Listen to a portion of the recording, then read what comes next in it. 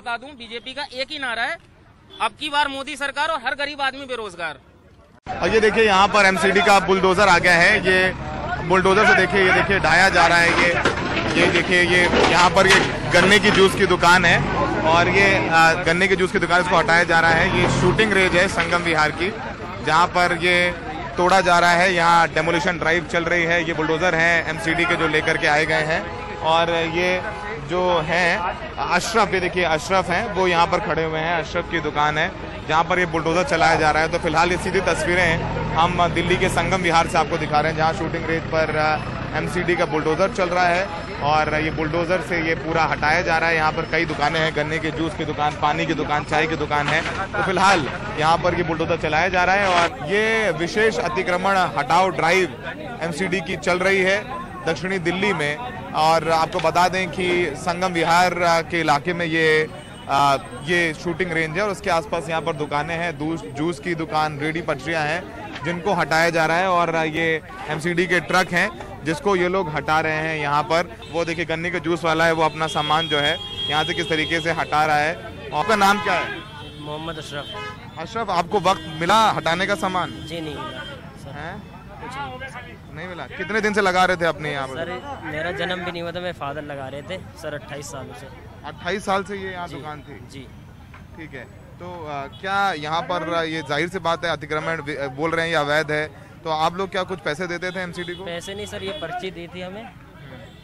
कुछ दिन पहले- पहले मतलब इस पे पर्ची दी थी बोला था जब तक दूसरी जगह नहीं मिलेगी तब तक यहीं पे लगेगी आपकी। अशरफ देखिए अशरफ के हाथ काँप रहे हैं इस वक्त। आप देखिए अशरफ के हाथ काँप रहे हैं। अशरफ घबरा रहे हो? जी सर। घबराएँगे तो है ही सर। इतना नुकसान हो रहा है सर। इतना सर नुकसान हुआ तो घबराएँगे तो है ही सर। मशीन वगैरह जो थी आपकी? सब उठ गए सर वो उधर गाड़ी में है सर। वो मशीन भी देखिए वो वहाँ पर है। और अशरफ ये बताइए जब आपके पास ये पर्ची है तो ये कैसे हटा रहे हैं? ये देखिए इसमें लिखा पंजीकरण के लिए पावती रशीद। सर ये हमें दी गई थी बोला था जब तक मतलब दूसरी जगह नहीं देंगे ये खुद ही देंगे मतलब तब तक यहीं पे लगाओ आप सर इसका कोई मानी नहीं है। मायने नहीं है। तो अशरफ देखिए घबरा करके काँप रहे हैं। इनकी ये दुकान थी 28 साल से।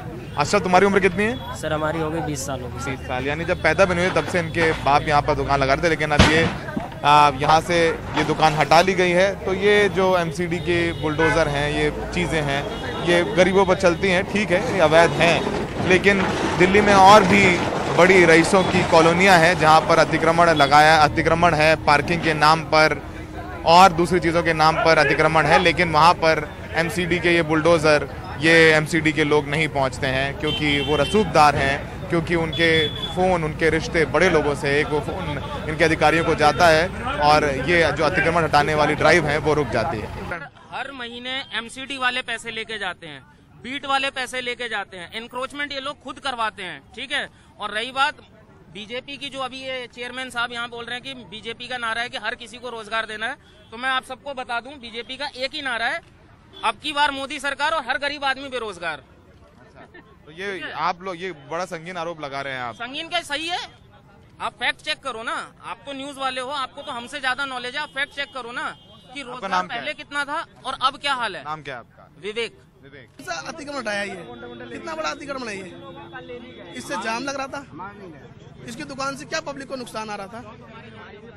सब चालान की रसीद दिखा रहे हैं और ये लोग कब से लगा रहे थे आप यहाँ पर? अरे हमारी तो बहुत साल हो गई। कम से कम बीस पच्चीस भी हो गई होंगी। बीस पच्चीस साल से यहाँ पर हैं आप। तो कभी हटाई नहीं गए नहीं हटाए नहीं गए ऐसे आए तो हम हम भर ले गए फिर हम अपना चुरा लाए फिर ये वो लोग हैं जिन पर इस समय सबसे ज़्यादा मार पड़ रही है। यहाँ पर लॉकडाउन की मार पड़ी कोरोना की मार पड़ी। फिर हैं यहाँ पर एमसीडी के बुलडोजर चले हैं और यहाँ पे 20 से 25 साल से यहाँ पर ये दुकानें लगाई जा रही थी। तो ये अशरफ की दुकान है, जो जूस है, जूस वाली दुकान है, सारा का काउंटर वगैरह लेके चले गए हैं और ये जो कुछ बचा कुचा है, उसको अभी बोरी में समेटा है अशरफ ने। हम जो एमसीडी के यहाँ पर अधिकारी हैं, उनसे बात करेंगे, जो चेयरमैन है, उनसे बात करेंगे और पूछेंगे कि ये जो अतिक्रमण हटाओ, आंदोलन चला रही है एमसीडी से, नुकसान गरीबों का हो रहा है कि नहीं हो रहा है? मैं Rajpal Singh chairman central zone दक्षिणी दिल्ली नगर निगम सर, यहाँ पर एमसीडी के जो ड्राइव चलाई है आप लोग, यहाँ पे 20 से 25 साल से ये लोग यहाँ पर अपनी रेडी पटरी लगा रही थी। तो इतना वक्त क्यों लगा दिया? इनकी रोजी रोटी चलती थी। नहीं, इनकी रोजी रोटी से हमें कोई इनकी दुश्मनी नहीं है। इन गरीब आदमियों को तो व्यवस्थित करके जो डायरेक्शन है दिल्ली हाई कोर्ट की उसके माध्यम से इनको स्ट्रीट वेंडर्स को टाउन वेंडिंग कमेटी के माध्यम से दुकानें अलॉट करने का पहले दे देनी चाहिए थी फिर हटानी चाहिए थी। नहीं ये तो रोड ब्लॉक कर रखे हैं वो तो उसके लिए वेट थोड़ी पच्चीस साल से लग रहा था नहीं नहीं पच्चीस साल से कुछ नहीं है ऐसा तो लोगों का कहना है पर ले, लेकिन हम कौन है? इनको लगवाई किसने ये? ये देखो ज़रूरत आदमी की लगाती है। समय आदमी का लगाता है। अच्छा बुरा समय सबके पास हैं है। एमसीडी वाले पैसे नहीं लेते इनसे रेडी लगाने वाले कोई पैसे इस तरह की कोई सब खुल के कह रहे हैं कि पैसे लेकर के एमसीडी वाले यहाँ पर दुकानें लगवाते हैं हर महीना ले जाते हैं और फिर आज जब पब्लिसिटी पानी है तो बुलडोजर चला दिया। ऐसा यहाँ पब्लिसिटी स्टंट नहीं चल रहा है। कोई आज चुनाव नहीं है। एमसीडी चुनाव आने वाले हैं सर कहाँ आ रहे हैं? एमसीडी और चुनाव तो तब होगा तब की बात है। ये तो आज की बात कर रहे हम्म, हैं इसका एमसीडी इलेक्शन से ना देखें। इसको देखें लोगों की सुविधा से। राजपाल जी बहुत ईमानदारी से बात बताइए।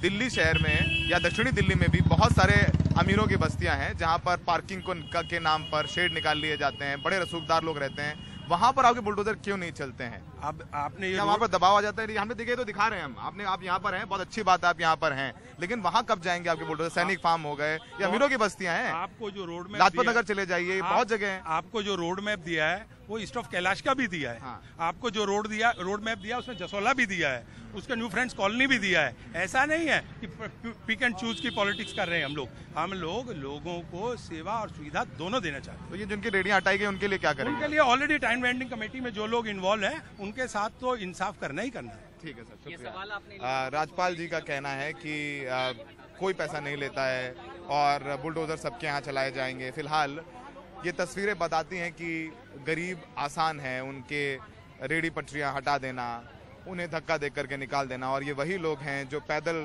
लॉकडाउन में अपने गाँव गए, कोरोना में सड़कों पर एक एक वक्त की रोटी के लिए तरसते रहे, और अब जो इनका रोज़गार था, उस पर ही बुलडोजर चल रहा है, क्योंकि अब दक्षिणी दिल्ली को भी तालियाँ चाहिए तो तालियाँ योगी के बुलडोजर को मिली, शिवराज के बुलडोजर को मिली तो अब ये बुलडोजर राजनीति, कितनों की रोजी रोटी तोड़ेगी, कितनों को सड़कों पर लाएगी, अभी आने वाला वक्त बताएगा। सहयोगी सुशील राठी के साथ दिल्ली से सौरभ शुक्ला, एनडीटीवी इंडिया।